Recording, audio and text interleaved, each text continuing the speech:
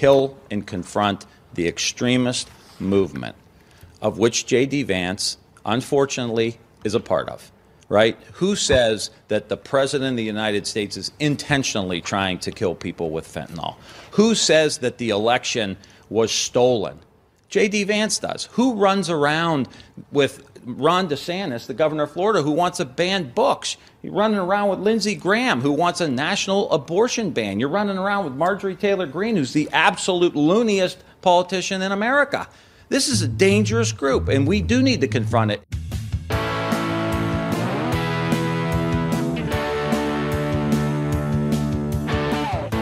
I'm Sarah Kendzior, the author of the bestsellers The View from Flyover Country and Hiding in Plain Sight, and of the new book, They Knew How a Culture of Conspiracy Keeps America Complacent, which is out now. I'm Andrea Chalupa, a journalist and filmmaker, and the writer and producer of the journalistic thriller Mr. Jones about Stalin's genocide famine in Ukraine.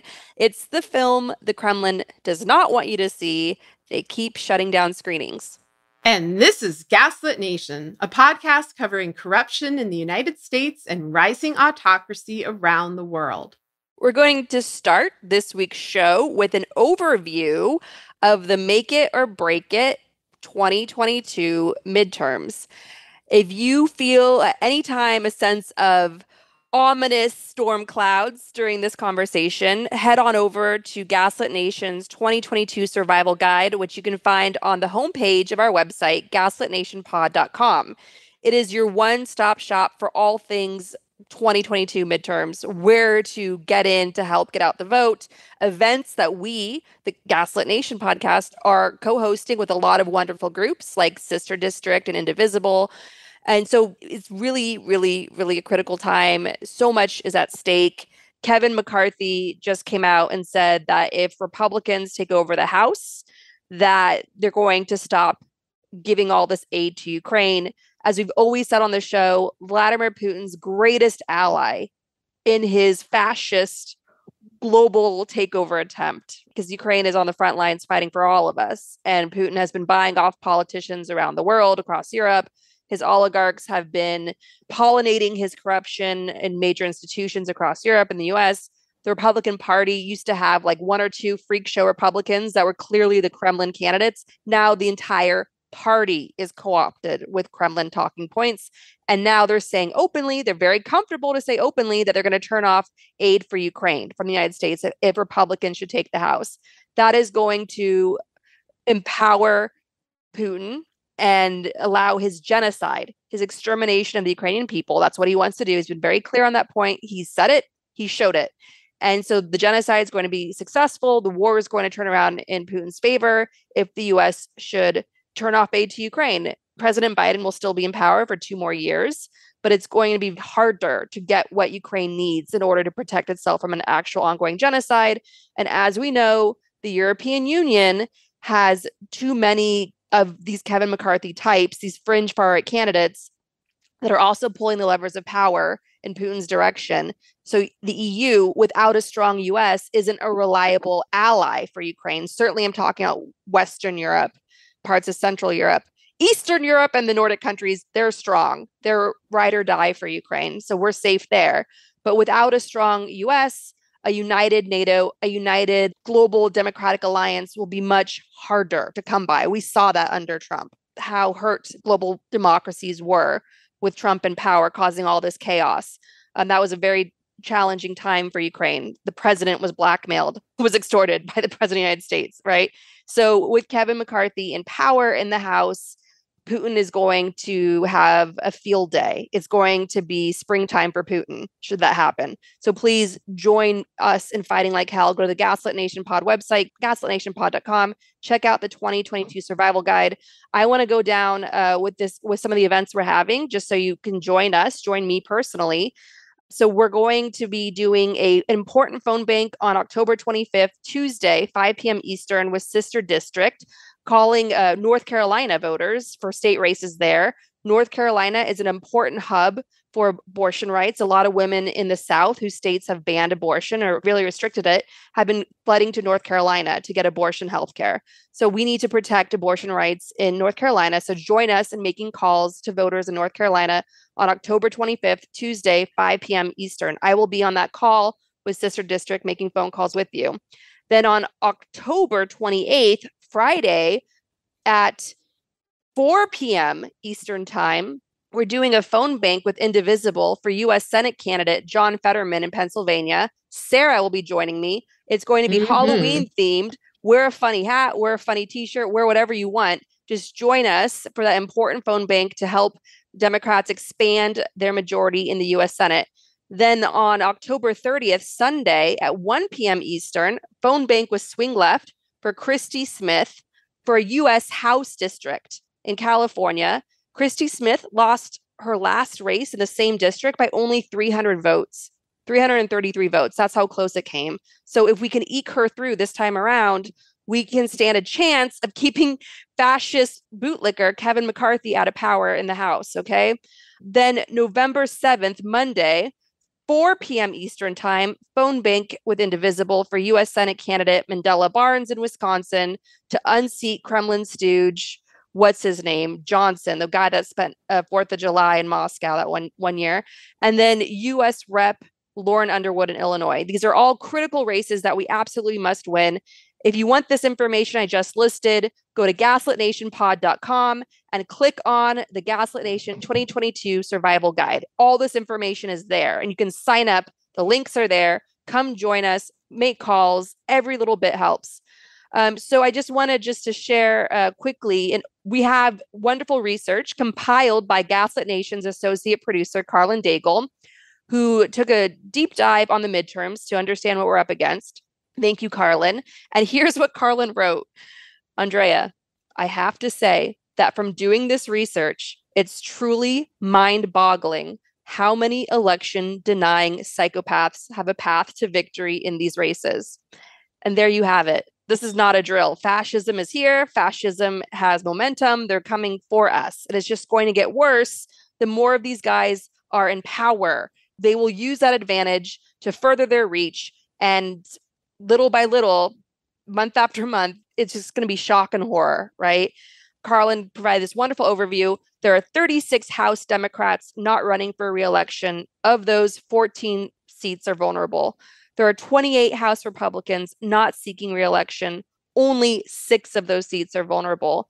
The key takeaways are redistricting has given Republicans a huge advantage and has made this election complicated, particularly in the South and Midwest, but it's an overall trend.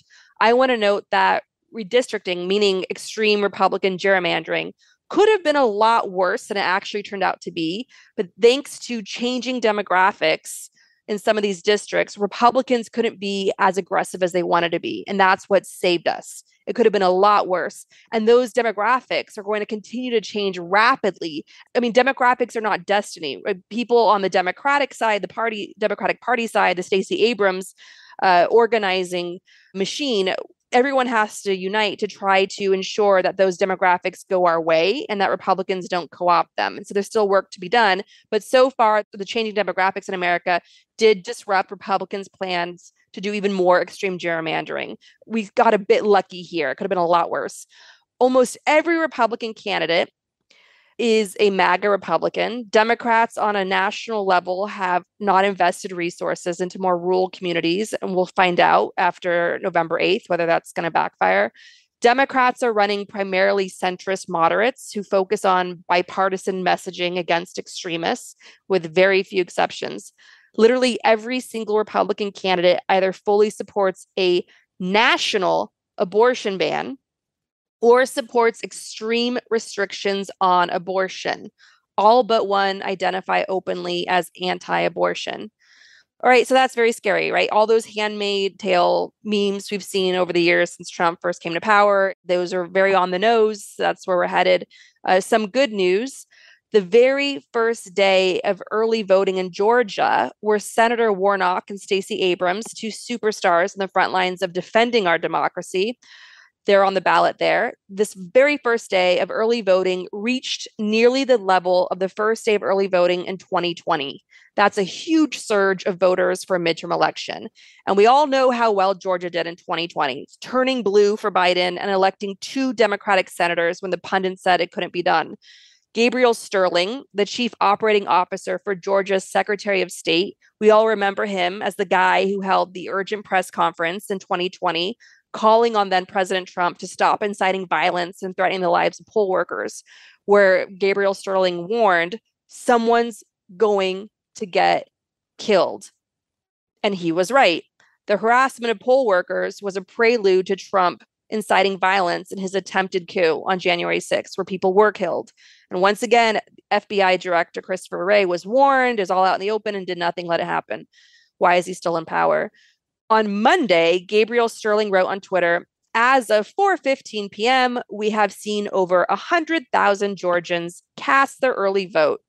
This blows away the previous midterm first day record of approximately 72,000, and we have lots of voting to go today. Uh, so that's huge, huge surge. Hopefully, those numbers are all in our favor. That's a very good sign. Uh, when Democrats vote, we win, as we saw with the miracle in Kansas, the big vote to protect abortion rights in Kansas. So please join us.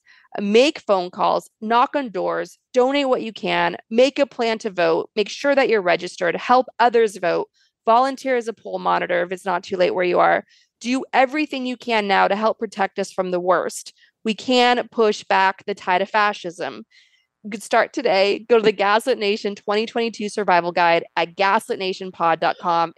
All right. Well, thank you for that. And just to elucidate uh, that things can get worse um, and the horrors in store for us, especially if the GOP retakes the House, I'm going to start this segment, which is referenced in the title of our show today Kanye, Elon, Trump, by discussing a tweet that was posted by the House uh, Judiciary GOP on October 6th that said exactly that Kanye, Elon, Trump. And at the time, we didn't know why, but a strange series of events began to unfold shortly after surrounding this unholy trinity um, in a very reality TV style, WWE style way, um, as if part of a script.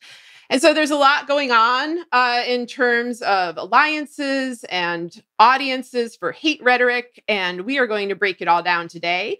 We've decided to divide up the assholes. So I am going to take on Kanye and Trump, and Andrea is going to give us the latest on Kremlin mouthpiece and billionaire shitposter Elon Musk. Get ready because none of this is fun, but I think it's important. Um, I think we need to study this because this is the uh, direction of the future in terms of public discourse and monopolies over uh, public conversation. So here we go. On Sunday, Kanye West decided to uh, make the following tweet where he says, I'm a bit sleepy tonight, but when I wake up, I'm going Death Con 3 on Jewish people. The funny thing is, I can't actually be anti Semitic because Black people are actually Jew too. You guys have toyed with me and tried to blackball anyone who opposes your agenda. And so this tweet was removed shortly after because it violated uh, Twitter rules against hate speech. And the tweet arrived after Kanye had worn a White Lives Matter t shirt at a Paris fashion show, after he had gone on Tucker Carlson's show to express extreme right wing views. Um, and some of his disparaging comments about Jewish people were actually edited out uh, by Carlson's show. Uh, they were too overt but they were leaked in videos to Vice.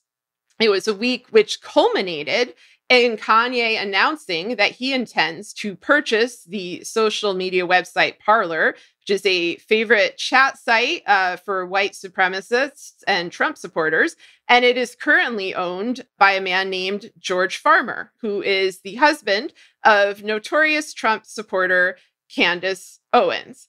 And so all of these moves dovetailed with Trump uh, posting anti Semitic rhetoric of his own on his own uh, social media network, Truth Social, shortly after. I'm going to get to that in a second. But to take the broad view, what we are seeing here are tools of autocrats attempting to purchase the digital public sphere. Kanye and Elon Musk are functioning as intermediaries for autocratic power players, much as oligarchs and plutocrats have traditionally done, and as they've done before in the United States. We've seen this with Peter Thiel, uh, for example, and he's you know making moves now as well. That these two men are obnoxious and cartoonish does not make them less dangerous. It actually makes them more dangerous because they understand the social media landscape and the attention economy much in the way that Trump did. And they know how to dominate it with rhetoric on the road to sealing it up with money. They understand that these days fascism sells, and fascism is backed by powerful corporate and political operatives, which I'll get to in a minute. But the first thing that we need to emphasize is the rise in anti Semitism, including physical attacks on Jewish Americans and on synagogues and on other gathering places, and the general streamlining of political violence since 2016 and especially uh, since 2020. When Kanye West says that he wants to, quote, go DEFCON 3 on Jewish people, that is an anti Semitic threat.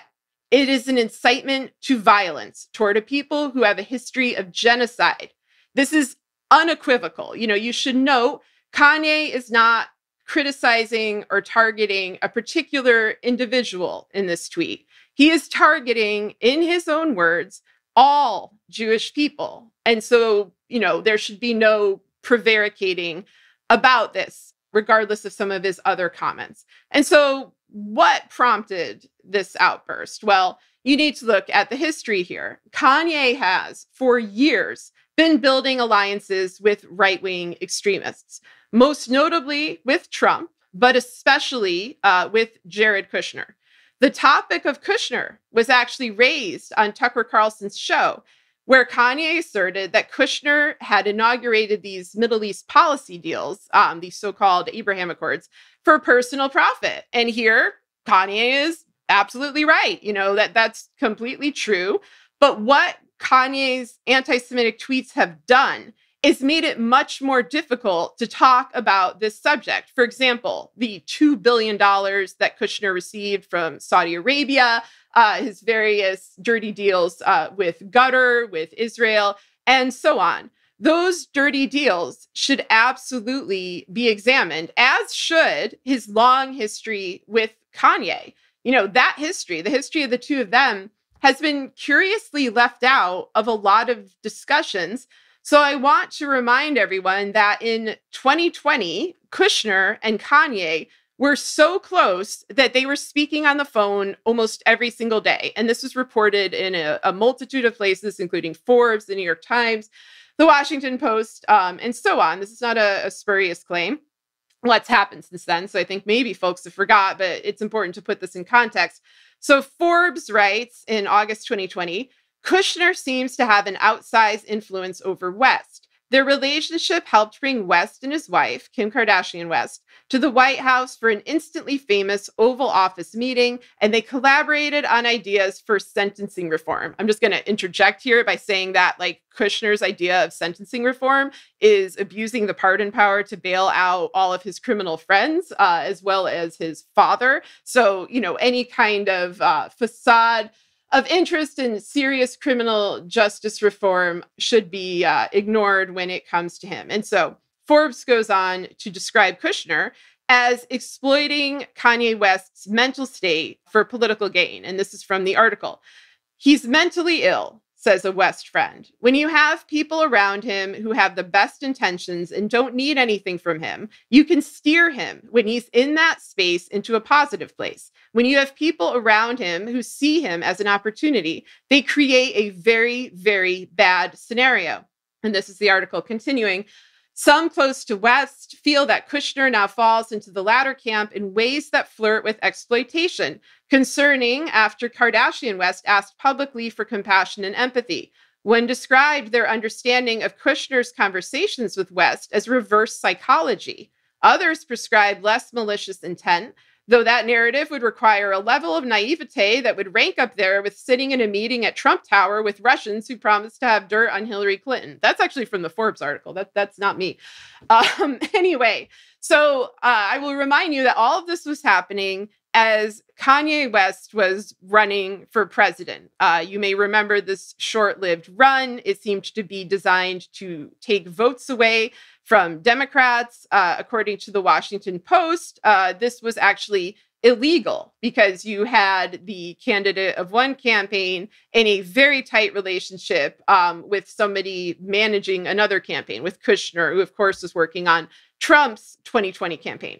So that's the short version of their backstory.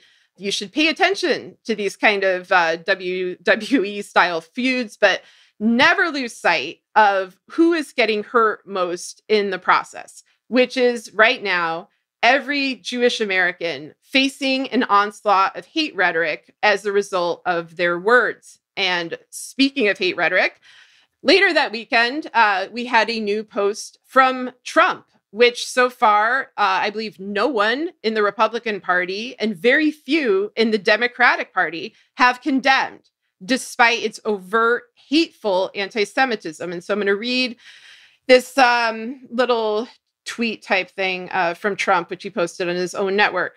Trump says, No president has done more for Israel than I have. Somewhat surprisingly, however, our wonderful evangelicals are far more appreciative of this than the people of the Jewish faith, especially those living in the US. Those living in Israel, though, are a different story. Highest approval rating in the world could easily be prime minister. US Jews have to get their act together and appreciate what they have in Israel before it's too late. First things first, we have once again a threat against Jewish Americans. You should not play this down. The quote, Jews have to get their act together and appreciate what they have in Israel before it's too late, is a threat, complete with a demand, complete with a timeline. We also have a clear example of what is a recurrent theme in both Republican politics and in right wing Israeli politics, which is demonizing Jewish Americans, most of whom vote for Democrats, in favor of Christian evangelicals, and most importantly, in favor of Israel. Trump has previously berated Jewish Americans for being loyal to the United States it's basically an inverse of the dual loyalty trope. In Trump's view, Jewish loyalty should be to Israel first, even if you're an American. He backs the fanatical ethno nationalism of his longtime friend Netanyahu, who is also a longtime friend of the Kushner family, and who, much like Trump and Kushner, has been involved in a multitude of uh, criminal and corrupt acts. And so there are many reasons for this decades long corrupt alliance. There's also a long history of Netanyahu stoking anti Semitism against the liberal diaspora, whether in his alliance with Breitbart or his aid to other far right Zionists in spreading the George Soros myth, uh, which BuzzFeed did a great expose on on the origins of that. So we'll link to that in the show notes. And Netanyahu is now on a US media tour. He was on Morning Joe this morning defending Trump's anti Semitism. Uh, he was on Bill Maher's show uh, doing much of the same. So you have to kind of ask here, you know, why is the media giving him this platform? Why are they not condemning Trump? Why are our leaders not condemning what is an overtly anti Semitic statement from Trump? Again, I want to emphasize this is a dangerous and profoundly unfair situation for Jewish Americans. And so it's remarkable that more of our elected officials have not spoken out to condemn it. And what it shows is that they too, some of them at least, value the foreign state of Israel over their fellow Americans. They value Israel over Jewish Americans who need protection from bigoted fanatics right now. And so it's not really surprising to hear silence from the GOP, you know, who have always backed or tolerated Trump's hateful positions. But it's also worth noting the positions of leading Democrats when it comes to Israel, because it's extreme. It's not just, you know, a kind of friendship or, you know, a support of a partner state. The leaders of the party have put Israel before the US. Chuck Schumer told the New Yorker that God had chosen him to be in the Senate for the purpose of protecting Israel. Um, we'll link to that article as well, because uh, a lot of folks have doubt on that one. Nancy Pelosi uh, infamously proclaimed in December 2018, while sitting side by side with mega donor Haim Saban at a fundraiser, that, and I quote, if the Capitol crumbled to the ground, the one thing that would remain would be our commitment to and cooperation with Israel. And as I've said before, that is a disturbing comment to make about any country, because one would assume that the first priority of a US official would be to protect Americans and not uh, a foreign country. And it's notable here, I think, that this rhetoric on Israel and Schumer's rhetoric uh, often lines up with that of Trump, and that's certainly not true of um, you know everybody in the Democratic Party. And so you have to ask why. Uh, well, there are a lot of reasons. But one major one has been the role of AIPAC, um, the lobbyists and major funder of campaigns of both Democrats and Republicans. Since 2020, AIPAC has ramped up its funding of insurrectionists and bigots, even when those candidates espouse anti Semitic beliefs or align themselves with anti Semitic causes. AIPAC just spent $27 million in the Democratic primaries trying to defeat candidates who believe in Palestinian rights. But they only succeeded in defeating Andy Levin, a progressive former synagogue leader from Michigan, whom they felt needed to be ousted for his belief that Palestinians deserve to be treated humanely. So again, they don't care about the fate of Jewish Americans, they care about Israel. And if that means backing people who tried to overthrow the government or who float the quote great replacement theory, then they'll do that. That's what they're doing now. Currently, AIPAC is funding over 100 Republicans who refused to certify Biden's election victory. You know, this is the financial muscle uh, or part of it behind that group. And so, why are the Democrats not speaking out about this? Well, according to The Guardian, they are so afraid um, that they don't even want to publicly address their own fear. An anonymous Democratic staffer told The Guardian that they were not prepared to get in a public confrontation with the lobbyist group. And then here's a quote from the article AIPAC is now an embarrassment, but frankly, it's too powerful to go up against, the staffer said. We don't need them pouring money in against us, so we hold off on public criticisms. My guess is that this is the same reason they're not condemning Trump, even when he's making threats against Jewish Americans. They are terrified of Israel and of AIPAC and of this big donor network and what they might do.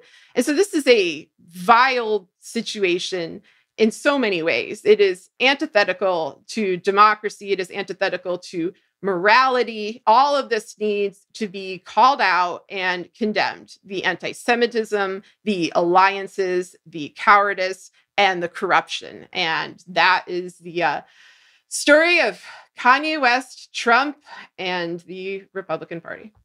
It's such a shame. it really is. It's just a nightmare. I mean, the whole theme of that tweet, right? Like, h- how did it go? It was Kanye, Elon, Trump. Trump.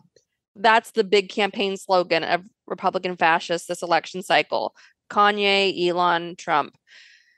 That's a very concise summary of this excellent must watch series on PBS right now called The US and the Holocaust. It is this extraordinary three part series, which is available uh, if you're in the US. I don't know how to watch it outside of the US, but if you're in the US, you could watch it for free on the PBS website. Just Google PBS and the US and the Holocaust. It's by Ken Burns, Lynn Novick, and Sarah Botstein. It's such a extraordinary, detailed look at what the US was doing and how the US essentially enabled Hitler to build and carry out his mass murder machine. And all of the American celebrities, like Charles Lindbergh, of course, all of the American business titans, like Henry Ford, and all of the far out there American politicians, too many to name, who were staunchly anti immigration, who didn't want immigrants from so called shithole countries, who only wanted white, Aryan, Northern European, Nordic immigrants to be allowed into the United States during a time of countless people, mostly Jewish people, being forced from their homes because in places like Germany and Austria, they were being driven out of the homes they knew, their businesses attacked physically, vandalized, windows broken. Uh, the beards of their spiritual leaders, the rabbis, publicly chopped in front of everyone. The beard of a rabbi is a symbol of the spiritual authority that the community entrusts in that person. You'd have laws against driving. Jewish people were forbidden from doing all sorts of basic things. And it is just this chipping away at basic human dignity. And on top of that, if they wanted to flee all this from Germany, the Nazis imposed restrictions, severe restrictions, on how much money Jewish people could take with them to flee the country and start a new life abroad somewhere. It was just horrific cruelty. And, all of the details, and I'm only listing a few, are heartbreakingly, powerfully shown in this three part series, The US and the Holocaust on PBS. Everyone is morally obligated to watch this to understand where we are now and how extremely dangerous it is now. All the signs are there. You have these influential people, these powerful people across business and culture who have been co opted into this anti Semitic, uh, pro fascist, pro genocidal thinking. Some of them do the propaganda more delicately than others. Kanye, for instance, is just a straight up I don't even know. Like he's just he's just going for it. He just he's just being openly anti-Semitic now. Like it's always been there, but now he's just letting it rip. Elon Musk is trying to play both sides. He's not he's doing it poorly, of course, but it's very very clear and Russian analysts who are experts on, on understanding Putin's mind, like Fiona Hill, have been pointing out that Elon Musk is very clearly communicating messages to the West, to Ukraine, of what Putin wants, negotiating on behalf of Putin and pushing all that. That's happening in real time. And I want to point out the significance of that because Putin is at war, Russia is at war with not just Ukraine. Russia has very clearly stated again and again that they're at war with the West. They're at war with democracy, wherever democracy exists in the world. Democracy must fail, and fascism, mafia states must prevail. Russia is part of an axis of these kleptocratic states, along with North Korea, Iran, Assad's Syria, Venezuela. They're propping a lot of these failed dictatorships up financially with military support and so on. They're friends with Netanyahu, who wants to turn Israel into an autocracy. They're openly proud of creating this new axis of autocrats. They're a coalition which we should really take as a lesson, as an important reminder of how essential coalitions are to winning any sort of battle. And so the the dictators and the wannabe dictators are openly, proudly in a coalition, and they have all of their useful idiots from Elon Musk to Kanye co-opted as part of this effort to normalize the unjustifiable. And it's all happening before our eyes, and it's just going to get worse if we don't have a more meaningful reaction to stop them. The help we're giving to Ukraine isn't enough it's simply not enough. And it's about to get weaker if, God forbid, the fascist Republicans who have been completely taken over are in, aligned with uh, Putin's Russia, with Russian fascism. It's a combination of homegrown Republican fascism, the same kind that inspired the Nazis, the Jim Crow laws, the strict anti immigration laws, the forced mass deportation of non white people from the US, all those things, all the, the legal apparatuses, all of those inspired Hitler. Hitler liked the US when Hitler was coming to power. He was a fan of the US, the Republicans, the Mitch McConnells of the day. And he used the lessons from America, what America was doing uh, against non white people, uh, to carry out uh, his dictatorship in Germany, to build it all, to pass these laws, taking away daily dignity, daily human rights from Jewish people and build his killing machine. So it's all coming back. History is repeating. History is repeating because we don't learn from history. History is repeating because we've had a far right, um, libertarian led, extremist Republican led movement over the past several decades in America to attack intellectualism, to attack schools, um, from kindergarten on up to the university level uh, to bring in a dumbing down of America, as we've seen with this far right propaganda takeover from Fox News, Newsmax, One America Network, Sinclair gobbling up local TV stations. And, and on top of that, just like you had during the rise of the Nazis, you have a bunch of capitalists cashing in on this with the hedge funds destroying newsrooms and investigative journalism units are the first to go because they're the most expensive and that's a further weakening of public discourse of of anti-corruption watchdogs of reformers of communities. So there's been a lot of people that have been cashing in on the decline of all this and setting the stage over decades for fascism to finally take hold in America and we're at an extremely dangerous tipping point for not just our country but the world yeah, absolutely. I mean, we're at the culmination of a lot of trends that grew to the point that that Trump was able to get into office, that Brexit happened, that Putin felt comfortable invading Crimea in 2014, not expecting backlash, and he didn't really get it in a meaningful way. And then all of this was laid out on the table very explicitly in front of us in 2016. You know, all the hypotheticals became real. The axis of autocrats was spelled out. Um, you know, the more that people investigated these kind of key players in this nexus, you know, whether Trump or Kushner, the more corruption and the more you know decades long entanglements were revealed. You know i'd add manafort and stone um, and others to that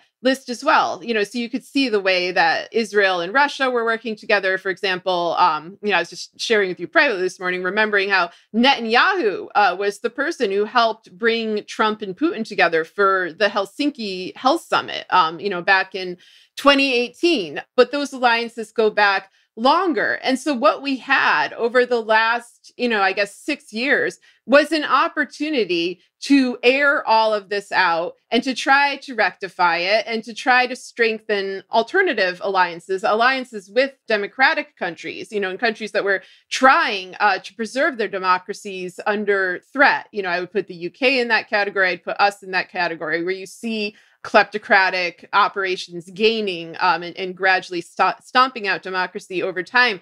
We have not done that in the US. You know, the last two years were the best opportunity that we had with the Democrats having the presidency, the House, and the Senate. There are obviously um, maneuvers in play that had been planned for decades on end. For example, the packing of the Supreme Court and the ability of an ultra right wing Supreme Court um, to overrule uh, a lot of domestic policy decisions. But nonetheless, you know, you it's like the basic, the most basic lessons have not been learned. You know, which is do not give in to dictators. Do not make financial deals with dictators. They're learning that the hard way with um, Saudi Arabia. Always expose corruption, get dark money out of politics, take uh, you know bigotry and hate rhetoric seriously, treat it equally across the board. Like whoever makes the threat, it's the threat that matters. It's who gets hurt that matters. It's who suffers in these situations and feels unprotected and vulnerable that matters. You know, we've had so many hate crimes over the last six years, such an incredible rise against Black Americans, against Asian Americans uh, during COVID,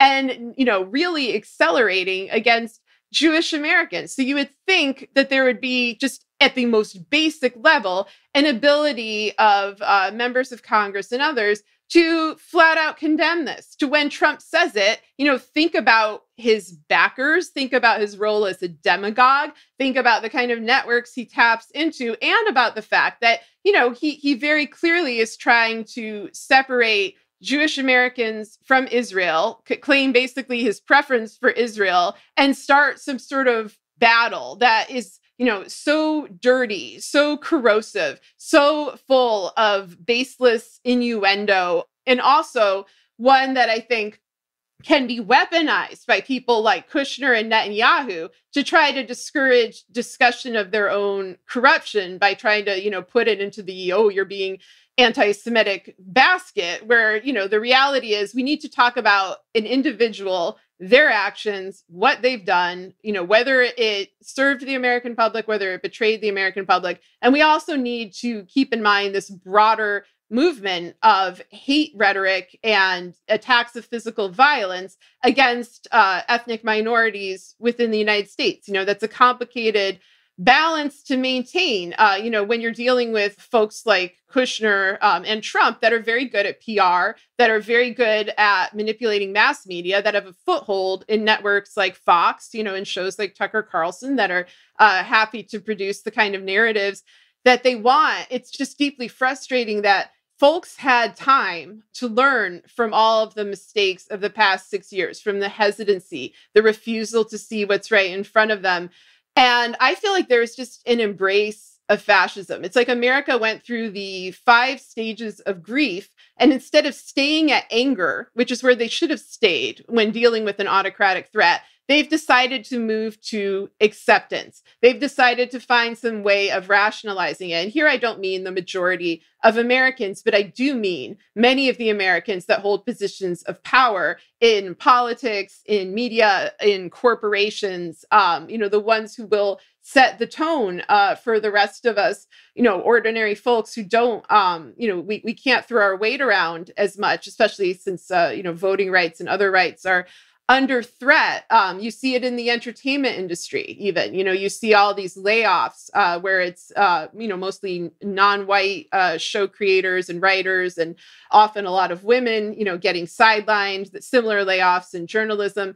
Some of the atmosphere reminds me of 2002, you know, when America was so traumatized by 9 11 that they were kind of willing to accept a lot of autocratic measures that they shouldn't have as they were hit with a propaganda blitz. So things like the war in Iraq, the Patriot Act, um, you know, it did get scrutiny from people, but those people were dismissed as either hysterical or alarmist, or sometimes even as traitors, as unpatriotic. I'm seeing that same sort of let's just give in kind of vibe. Like, let's just give in to the white patriarchal structure. Like, let's stop fighting these battles because I think this is part of it. People aren't fighting for us, our officials aren't fighting for us. People aren't doing their most basic duty, whether it's you know Merrick Garland or, or Christopher Wray or Biden, in terms of uh, not firing Merrick Garland, Christopher Wray, Louis DeJoy, and, and all of these others. Uh, the opposition has grown quiet and i think it's in part because of trauma but it's also because of, of lack of support and this kind of ceaseless onslaught of threats and hateful violent behavior. And people need to take all these issues that we're talking about and boil them down to the politics the the elections the elections happening right now. For instance we have a massive number of listeners in new york state and i want to just share that a new poll uh, shared by good old Steve Kornacki from the polls from Quinnipiac. my, Quinnipiac. yeah, there you go. Uh, they have Governor Kathy Hochul up only four points over Republican Lee Zeldin. Only four points. Lee Zeldin, who has been endorsed by Trump right after Trump made his anti Semitic uh, post. Yeah, and then Siena, the Siena poll had Hochul up only by 11 points, which those averages, that's not very comfortable for us here in New York State, which is supposed to be a blue bastion against uh, the fascist takeover of our country. What's really interesting, back to the PBS US and the Holocaust documentary, New York City, Brooklyn uh, kept coming up as a big Antifa, anti fascist hotbed against uh, America's homegrown Nazi movement a- against the whole America First crowd and the isolationists and the, the fake anti imperialist pacifists and all of it. You had New Yorkers being badass and speaking truth to power. And that included sneaking onto a, a ship which was set to go to Germany and ripping off the Nazi flag and getting arrested. That also included swarming the big Nazi rally in Madison Square Garden on George Washington's birthday, where they had these big banners of George Washington, and the place was just packed full of Proud Boys and Roger Stones of the day. And outside, the New Yorkers just gathered and harassed and screamed and just disrupted the events as much as they could. So we need New York to be blue. We need strong democratic leadership in this state. And this is a reminder that if you're terrified about all the stuff we talk about on the show, you need to look where you live and make sure that you are represented by good governance wherever you are. Pay attention to who is representing you where you live. Fight like hell to clean up your community. Get involved locally in your community. Go to gaslitnationpod.com and go to our 2022 survival guide. And there's a whole long list of ways that you can help turn the tide and protect what's left of our democracy from a full blown fascist takeover. They have been very clear on what they want to do. The, the crimes are being committed out in the open. This has been a long term plan. We did a big old series in the spring talking to all sorts of historians and other experts about the generations of work that has gone into getting us here. And now they're reaping what they've sowed. It's harvest time for the fascists. We're about mm-hmm. to enter the Supreme Court season, right? Which now feels like Hunger Games, where the Supreme Court is going to be further chipping away and, landmark decisions and taking away our democracy before our very eyes, scapegoating people through the legal system. Um, so this is real, it's happening. So the thing you need to do is as much as we all want to curl up in a little ball, we all feel that way. Despair is a very healthy and normal reaction to all this, but don't stay in your despair too long. That's something that this work has taught me again and again. Do not succumb to your despair. Don't wallow in your despair. You can do whatever you can to self heal, to get out of bed in the morning, you know, look into your child's eyes. Just give yourself a reason to fight and cling to whatever joy you have in your life and get oxygen in your lungs and your mind. But you need to get out there and fight. We desperately need you. We cannot do this alone. So please lock arms with us and help us get out the vote. We've laid it all out there on what to do and where to start. Own your power. Do not let them fool you into thinking you're powerless because that's simply not true. And the existence of this show is a reminder of that. We remind ourselves of that every single day. We're all about taking back our, our power from people who have genocidal aims. And genocidal maniacs do not stop at their targets right? Because they're eh, what's at the heart of it is mass murder. There's just something wrong with these people. They're wired mm-hmm. differently. So the whole point of human civilization the way we've even managed to get this far is setting up all sorts of systems and protecting those systems from people that would do us harm from the bad guys that are real that exist out there. So all of us need to fight like hell right now because we have simply no other choice. Yeah, absolutely. And as a sort of final point, it's very frustrating and it does cause feelings of depression, feelings of despair to see institutions collapsing around us, to see this level of betrayal or inertia. Um, so I just want to emphasize to people that in times like this, what you can always hold on to is your own moral clarity. And it's essential to do that now in the midst of all this overt bigotry, all of these threats, all of this hate rhetoric, beyond just the structural threats, you know, we're seeing interpersonal threats as well. Your moral clarity, you know, uh, your sense of ethics, your sense of compassion and empathy, that is something that no official, no dictator, no one can take away from you unless you let them. That is a choice that you always have, no matter how much things are crumbling around you. And so it's absolutely uh, essential to hold on to that part of yourself now. Never relinquish it. Never give up. Always, uh, you know, follow your heart and your own conception of what is right and wrong. Do not go along with the crowd in this sort of situation. You know, we've seen what has happened in the past, and you should learn from that history.